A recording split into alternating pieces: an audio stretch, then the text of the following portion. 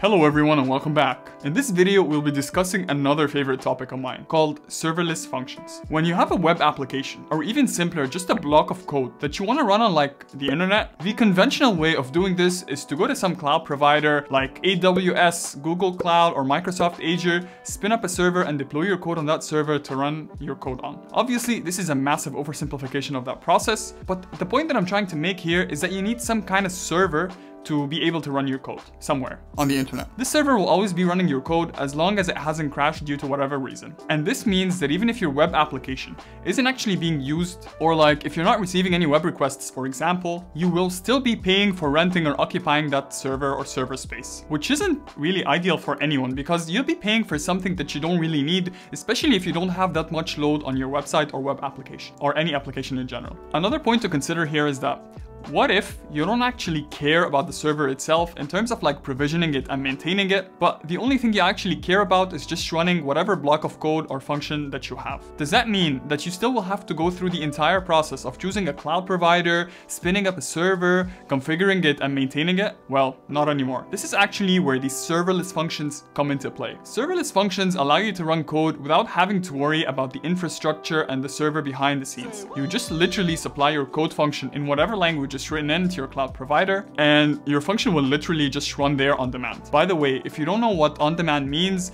on demand means that it only runs when it receives a request or when a task, for example, is scheduled to run at a specific time. This allows you to only pay when you run your code and when you consume actual server resources. Consequently, as you might imagine, this has the potential to save you a lot of money, especially if you don't get that much load or you're just starting out. However, it's important to make the distinction that serverless does not actually mean that there's no server. Serverless just means that you as a developer do not have to worry about the infrastructure aspect of this entire process, but it's rather on your cloud provider to handle that aspect for you. So if you're still not 100% sure about the serverless thing or don't understand it fully yet, let's try a different angle here. And as usual, I scoured the internet for the perfect analogy when I came across this amazing blog post over here, which does a great job of comparing server and serverless models. So shout out to Aswath for the awesome analogy. This server concept is like, let's say you want to bake bread, for example. Then you will have to go buy wheat, flour, water, and eggs all by yourself, potentially from different stores. You'll then have to mix it all together in certain proportions, at least that's how I think bread is made. Or baked. And then you have to bake it all by yourself to make just a single unit of bread. This is technically how the conventional deploy a web application on a server model works. Now, let's talk about serverless and how that relates to bread making. Nowadays, you can outsource your bread making to a third-party contractor. What happens is that you give your bread recipe to this third-party contractor and they make the bread for you in exchange for a fee. You can then label and sell that bread as your own brand for a higher price than what you paid the third-party contractor so that you make some profit. So why would you want to hire a third-party contractor to bake your bread for you rather than you baking it yourself? And that's actually a great question. First, you might not really want to worry about purchasing all the raw materials and well, any special oven that might be needed to bake that bread. For a fee, a third-party contractor takes care of all of that for you. Second reason is, if, for example, some influencer or celebrity comes by your bread brand, really likes it and decides to tweet about it, for example, it could result in like 10,000 orders of bread overnight, for example. And even though that sounds amazing,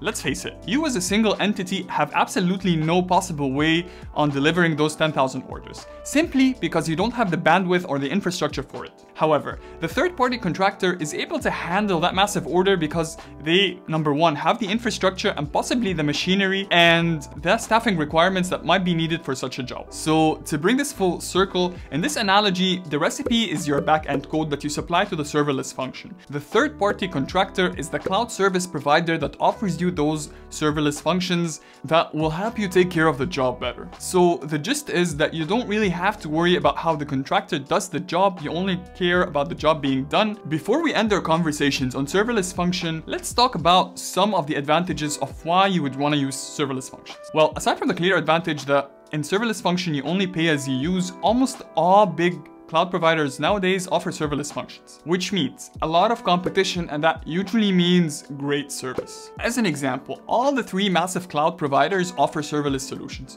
In AWS, for example, these are called Lambda functions. They're called Azure functions in Microsoft Azure and Cloud functions in Google Cloud. Another big advantage of these serverless functions is that the Another big advantage of these serverless functions is that they're easily scalable. So for example, let's say you write a blog post on your website and then some influencer discovers it and shares it, which drives a lot of eyes to your content. You literally end up blowing all of a sudden and you get so much unprecedented traffic or attention to your website. The conventional server that you might have might not be able to handle all this unprecedented load, especially if you don't have some kind of like auto scaling policy defined. But that's beyond the scope of this conversation. This might make your server crash, which would totally suck killing the tide of your viral moment. But luckily that won't happen with serverless because as the load on your website increases and goes higher and higher, more functions are spawned automatically to support that load. It's absolutely amazing. Like all you have to do is just literally go viral. Now you're probably thinking, where do I sign up? This is awesome and I don't blame you. Completely loving the enthusiasm. But hold up. Let me tell you about some of its limitations first. Since you as a developer,